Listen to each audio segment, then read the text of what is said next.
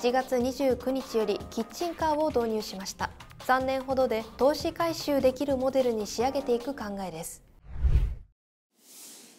どうもこんにちは。東洋経済オンライン YouTube チャンネルリポーターの森岡彩です。チャンネル登録してご覧いただいている皆様いつもご視聴ありがとうございます。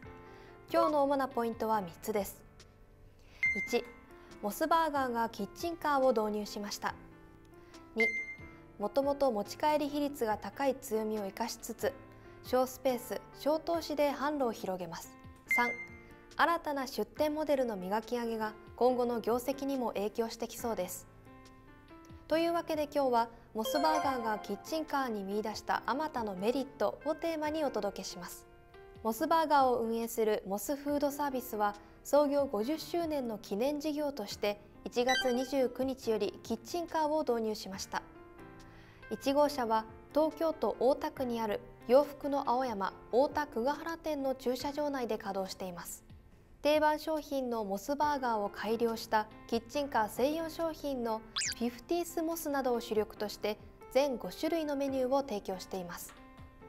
近隣のモスバーガー千鳥町店で食材保管や仕込みなどをこなしこの店を母店としたサテライト展開となります。もともとモスバーガーは売上に占める持ち帰り比率が約6割と高かったのですがコロナ禍の巣ごもり需要を背景に最大8割程度にまで上昇しました。こうした強みを最大限に生かしつつ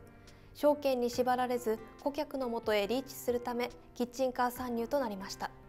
またモスフードサービスは近年店舗数の減少という課題に直面しています。フランチャイズ FC オーナーの高齢化による撤退などもあって最盛期に1500店以上を誇った店舗数は2021年3月末時点で1260店舗にまで減りました。店舗数の増加のため現在は店舗の多角化を進めています。すでにテイクアウト専門店や小型店などを展開しておりここにキッチンカーが加わりました。キッチンカーは機動性を生かせることに加えて小スペースかつ相対的に少ない投資で始められます。平均的なモスバーガーの店舗は30から40坪ほどですがキッチンカーは3トントラックを使用していてキッチンスペースは1.5坪ほど。トラックの改造費などを含め初期投資は1000万円程度だそうです。小規模ながらも月賞200万円ほどを目指して3年ほどで投資回収できるモデルに仕上げていく考えです。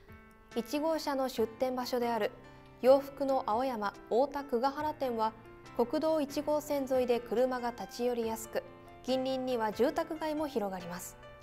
こうした好立地を確保できたのは青山商事の青山治社長とモスフードサービスの桜田敦会長が顔なじみであったことが大きいようです。青山商事にとっても場所代を得るなど敷地活用というメリットがあるようです。モスフードサービスは今後も複数台のキッチンカーの出店を予定しています。